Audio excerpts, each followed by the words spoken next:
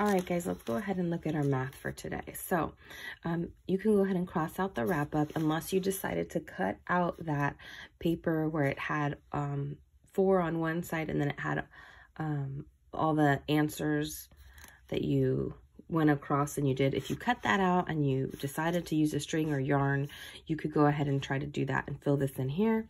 Um, but if you didn't, that's fine. Just cross that out. You guys are definitely getting a lot of fact practice since we do one of these almost every day. And then we do the oral one too. So if you have it, you can do it. If you don't, not necessary.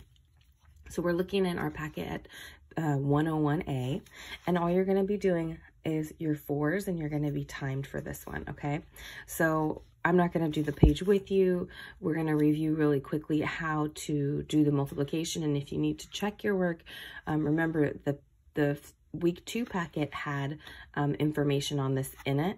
If you still have it and you want to correct your answers by looking at that page that had um, four times zero, four times one, four times two, all in a row. Otherwise, I believe you might have this information in your um, Saxon math folder. There might be a multiplication table on there too. Otherwise, you can just um, Google it on your iPad, multiplication table, and then you'll find a table that has all the answers that you need. But please make sure that you're timed for this one. We'll go over a couple just so we can remind you what multiplication is. So we have 4 times 4. We're going to count by 4 four times, and then whatever number we get to is going to be our answer. So I have 4, 8, 12, 16. 16 is my answer. And then I have 4 times 8. I'm going to do the same thing. I know already if I'm counting by fours, that 4 fours is 16. 16. So I actually don't have to start from 0 because I just did that one. Now, there are a couple of strategies I could use here to get my answer. Think about what those are. I'm thinking of three. Remember to pause the video if you need some time to think. First, I can just keep counting and have four eights. So I've got 16, 20, 24, 28, 32. There we go. Another strategy I can use is, look, this is a four and this is an eight. This is half of this one. So what does that mean I can do with my answer to this to get my answer to that? Double it, right? So I could do 16 plus 16 and that will give me the same answer of 32.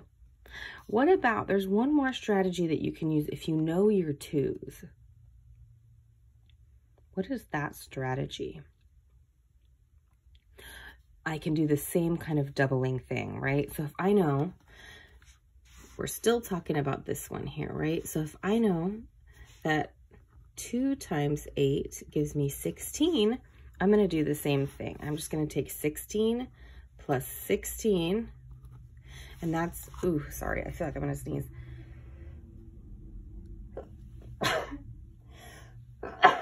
Excuse me, sorry about that.